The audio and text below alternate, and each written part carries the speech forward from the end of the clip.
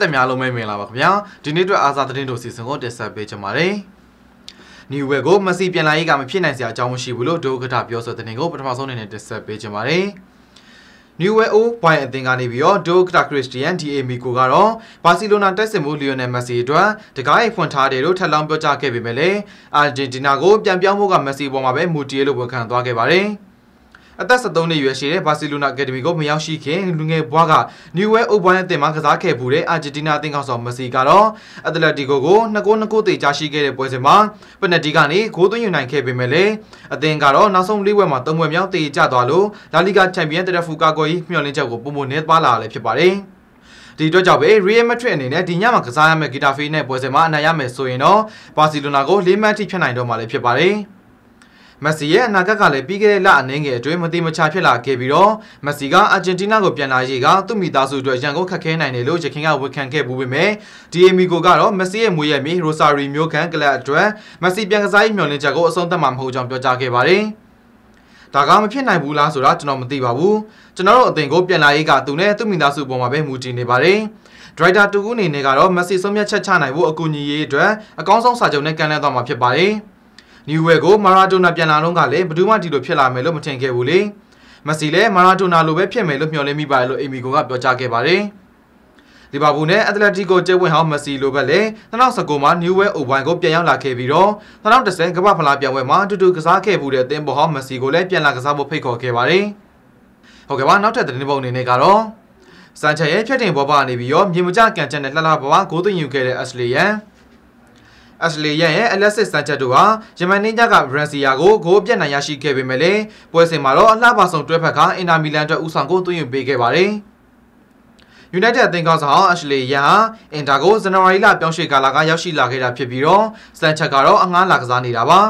။ယမန်နေ့ညပွဲစဉ်မှာတော့စန်ချက်ဖြတ်တင်ဘောကနေရန်ကတော့မြေမကျကန်ချက်နဲ့လှလှပပသွင်းယူသွားခဲ့ရလည်းဖြစ်ပါတယ်။ရန်ဟာပထမပိုင်းအပြီးခင်မှာပဲ DM Brosio ရဲ့သွင်းကိုကိုလည်းဖန်တီးပေးခဲ့ပါသေးတယ်။ Twitter ကပြည်သက်တွေကတော့ United ကစားသမားဟောင်းနှစ်ဦးရဲ့တွေ့ဖက်မှုကိုသဘောကျနေကြပြီးတော့ရန်တယောက်မထင်မှတ်ပဲနဲ့ခြေစွမ်းပြနေတဲ့အပေါ်မှာအံ့အားသင့်ခဲ့ကြပါတယ်။ပြည်သက်တူကတော့အီတလီမှာစံချန်နဲ့ Ashley Young တို့တွေ့ဖက်ပြီးကိုသွင်းသွားပြီး2020ကတော့ဂျိုဆိုဘိုင်လို့ဆိုခဲ့ပါတယ်။နောက်ထပ်တူကတော့စံချန်နဲ့ရန်ကတပွဲထဲမှာကိုသွင်းသွားတာလား2020ကတော့တခုခုပဲလို့ရေးသားခဲ့ကြပါတယ်။အင်တာမီလန်တင်ဟာစီးရီးကိုပြစ်မှတ်ထားနေပေမဲ့လည်းလက်ရှိမှာတော့ဂျူမင်တက်စ်ရဲ့နောက်17မှတ်အကွာမှာရှိနေရလေဖြစ်ပါတယ်။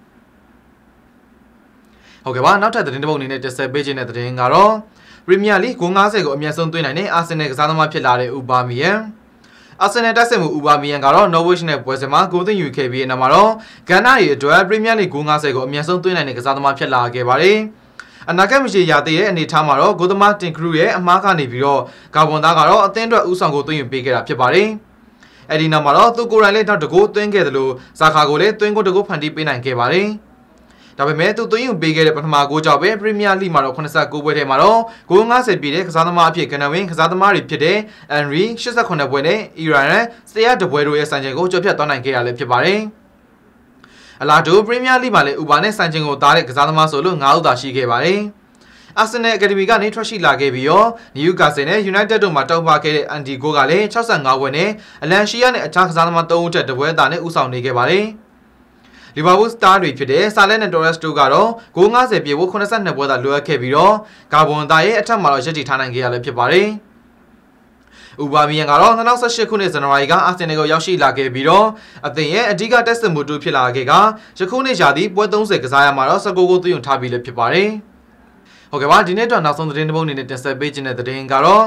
Preston နဲ့ပွဲစဉ်မှာ free kick ကနေအနိုင်ဂိုးသွင်းယူကငါမအိုသေးလို့ပြလိုက်တဲ့ Rooney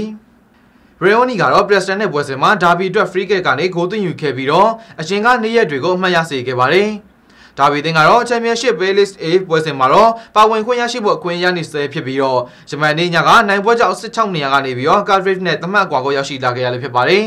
။ဒါဘီတို့ free kick ရစင်မှာတော့ကမ်ဘော့ဒရိုနီတူတဲ့သာမတက်ရက်နေတာကိုမြင်တွေ့ခဲ့ရပါတယ်။ United ကစားသမားဟောင်းက Super Free Kick ကိုဂိုးသမားရဲ့ညဘက်တောက်တဲ့ကိုတိတိငိမ့်ငိမ့်နဲ့ကန်သွင်းသွားခဲ့ရလည်းဖြစ်ပါတယ်။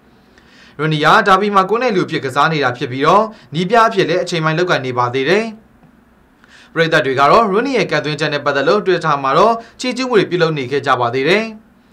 ရိုနီရဲ့ဒါဘီကိုပြောင်းခဲ့တဲ့ဆုံးဖြတ်ချက်ကအာရသင့်စရာဖြစ်ပေမဲ့လေအခုအပြောင်းရွှေ့ကတော့သူ့ကိုနီးပြပိုင်းနဲ့ပတ်သက်လို့အကူအညီရောက်ကြောင်းပြောကြားခဲ့ပါတယ်ဟုတ်ကဲ့ပါဒီနေ့အတွက်နေ့စဉ်အားကစားသတင်းတို့စီစဉ်တော့ဒီမှာပဲရနာကြပါခင်ဗျာကြည့်ရှုပေးခဲ့ကြတဲ့ပရိသတ်များအားလုံးလည်းကျေးဇူးများပဲတင်ရှိပါရခင်ဗျာ